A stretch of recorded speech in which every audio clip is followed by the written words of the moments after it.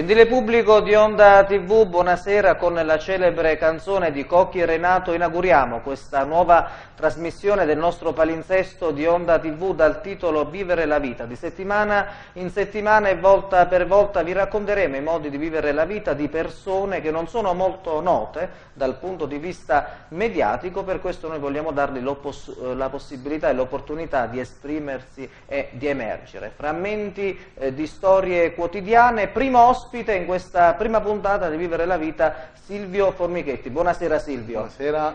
Silvio è un pittore di Prato La Peligna, possiamo dire che ha fatto della sua vita un dipinto e un quadro, certamente avrà sfruttato anche i talenti ricevuto- ricevuti in dono, le sue inclinazioni naturali, ma torniamo indietro nel tempo, come è nata l'idea di dipingere Silvio? Ci racconti un po' della sua storia. Non è che, che sia nata l'idea di fare l'artista. L'artista, uno artista, ognuno di noi è artista di per sé, quindi poi bisogna avere il coraggio eh, appunto per, eh, per esprimersi, per, per denunciarlo questo. Quindi io ho sempre dipinto da ragazzo, da adolescente, ma da bambino, e poi con gli anni, avendo fatto una serie di esperienze anche lavorative, ho sempre eh, mantenuto una costanza una coerenza nel portare avanti il mio concetto d'arte, la mia ricerca, e fino a quando appunto è diventata l'unica e vera professione che eh, tuttora insomma, mi vede impegnato in mostre internazionali, premi internazionali, riconoscimenti eh, quali come la Biennale di Venezia. E, e appunto insomma oggi è la mia unica attività, la mia attività principale, non c'è altro, questo almeno da circa dieci anni.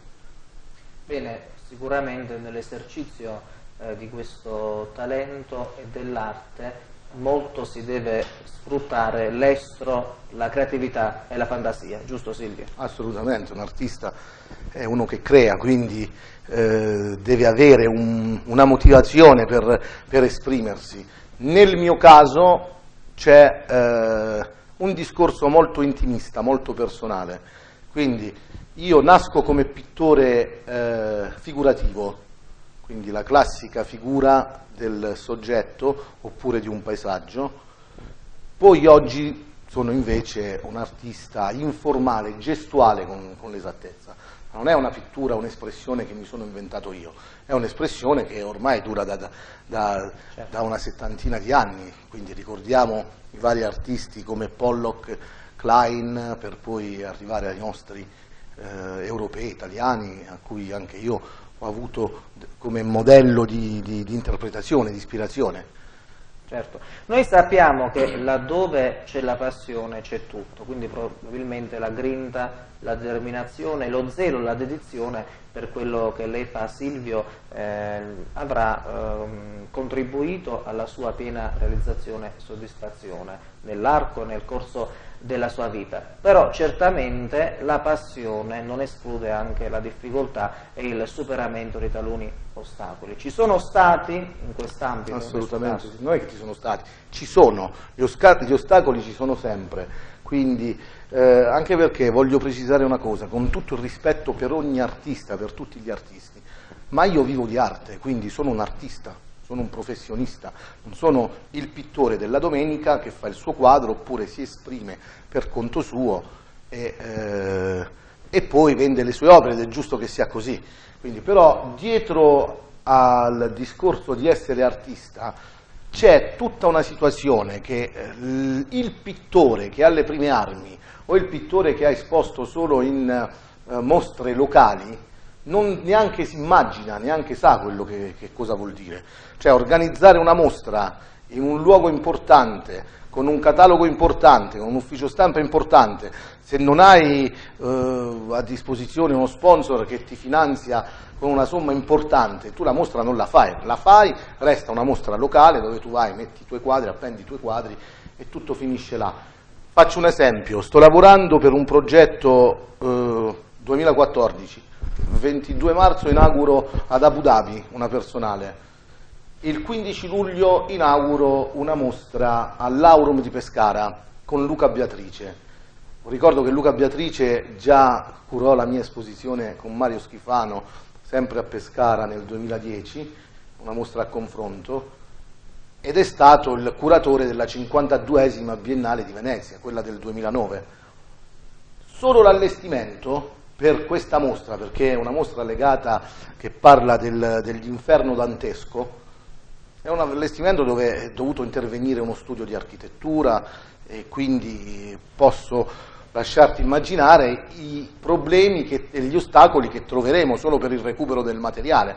Quindi le mostre sono anche ehm, immagine di, di, quello che uno sta facendo, di chi è l'artista, un allestimento in una mostra è anche molto importante.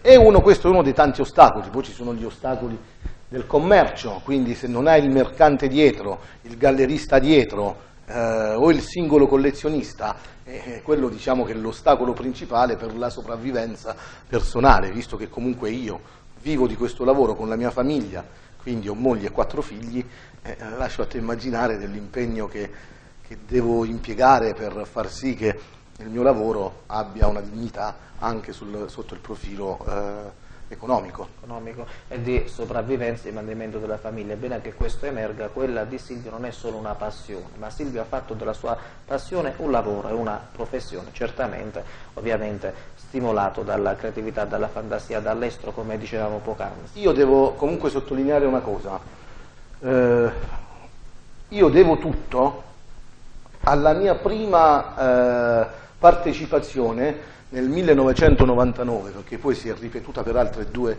edizioni, del premio Sulmona.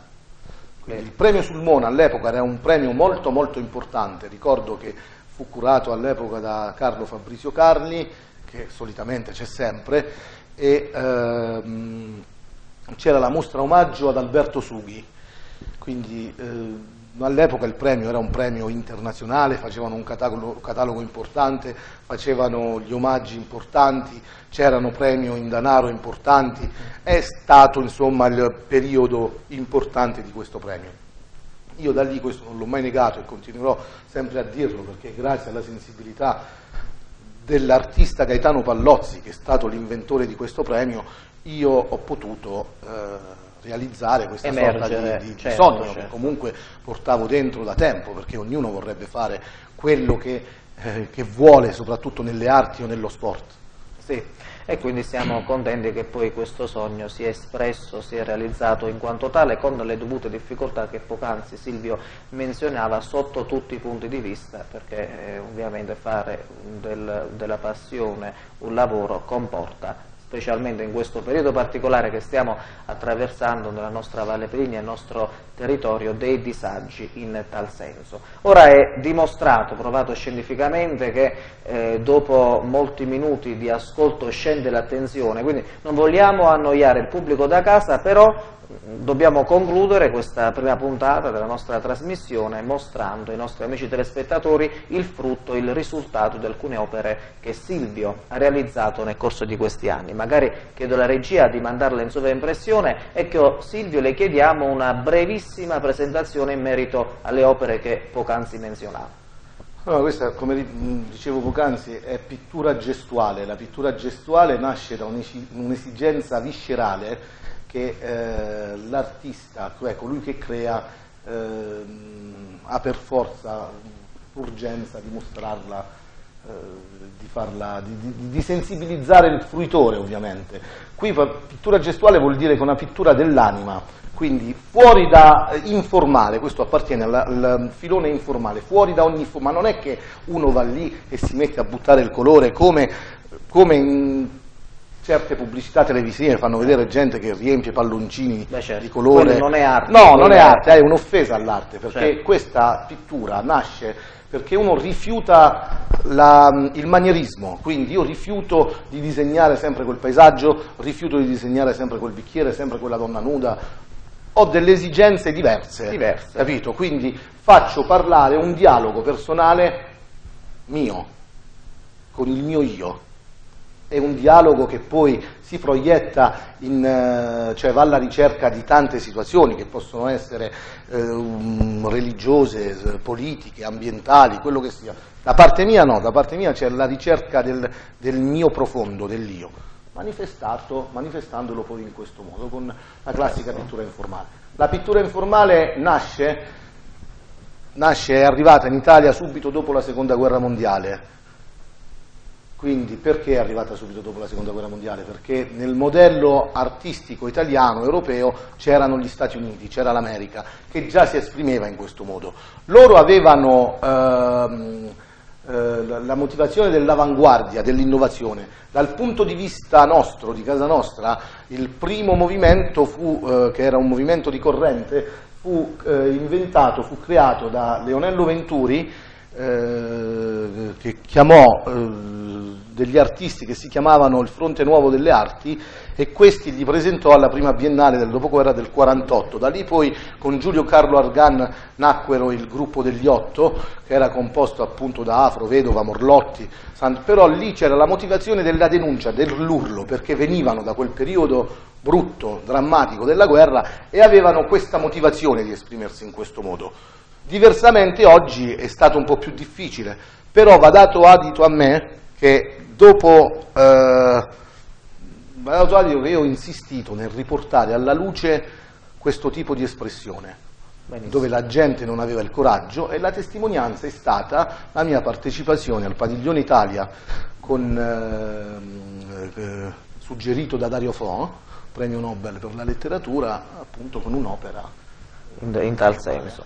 Benissimo, allora mh, mm, noi ringraziamo Silvio Formichetti anzitutto per aver accettato il nostro invito, eh, con, eh, con, lei abbiamo inaugurato questa nuova trasmissione, ecco, facciamo tanti auguri, un grande in bocca al lupo a Silvio e alla sua famiglia per il loro cammino, per il loro futuro e anzitutto per la loro vita, visto che parliamo di vita in questa trasmissione. Grazie, buonasera. Grazie a Silvio Formichetti, grazie al pubblico da casa che ci ha seguito con affetto e simpatia. Appuntamento su Onda TV con Vivere la Vita lunedì prossimo alle ore 22. Viva la vita e buona serata a tutti. C'è chi un giorno invece ha sofferto e allora ha detto io parto, ma dove vado se parto? Sempre ammesso che parto